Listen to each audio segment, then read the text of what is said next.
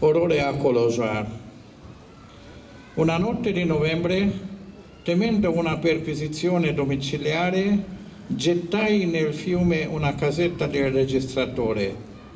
La tua voce vi era incisa. Del resto sai di quale casetta si trattasse.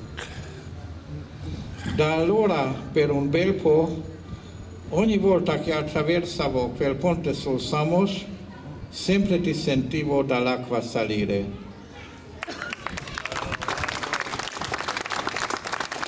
Grazie a